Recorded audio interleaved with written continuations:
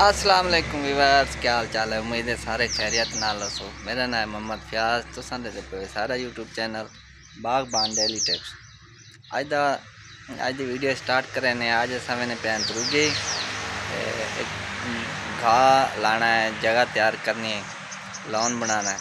तो वीडियो मुकम्मल देख सो इन तक अच्छी रहनमाई, अच्छी मालूम मिलती वीवर्स ये दो दो स्टेप हैं मतलब दो टोटे ने एक आला एक उपर ये दोवें जड़े असा खब्बल गंद छंद है ये सारा गोड़ के साफ़ सुथरा, साफ़ करके ते इस फिर असा दोबारा लाना चुंडिया लगा।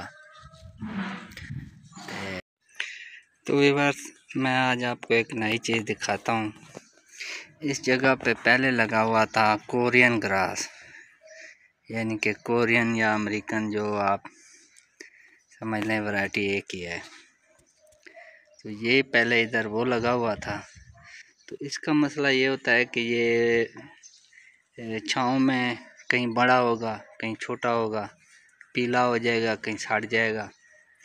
तो इस तरह वो सारा वहाँ पर ख़त्म हो गया था। तो ये छाँव पर थोड़ा सा है इधर। इधर छाँव पर है थोड़ा थोड़ा बाकी सारा ख़त्म हो गया है। उधर तो तकरीबन ख़त्म हो गया है। तो अभी हम इसको दोबारा तैयार कर रहे हैं जगह को और इधर हम लगाएँगे फाइन डाका ग्रास। और सबसे अच्छी ग्रास जो है वो फाइन डाका ही है। सबसे पहले हम इधर ये सारा घास साफ़ करेंगे। साफ़ करने के बाद ये सारी जगह को गोडी करेंगे। गोडी करके लेवल करके अच्छी तरह। फिर इस ऊपर हम लगाएँगे चूंडी वाला घास। तो वीवर्स वो वाला प्लाट तो हमारा साफ़ सुथरा हो गया है। बस आखिरी एक रेड़ी रह गई है ऊपर उस टेना पे।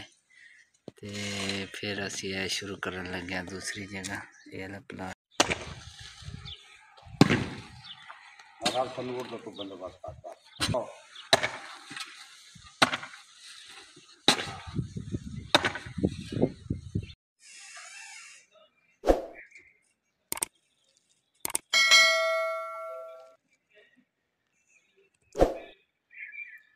तो व्यूवर्स ये हमने रात को काम ख़त्म किया था और आज मैं सुबह एक बार विज़िट करने आया हूँ इसका।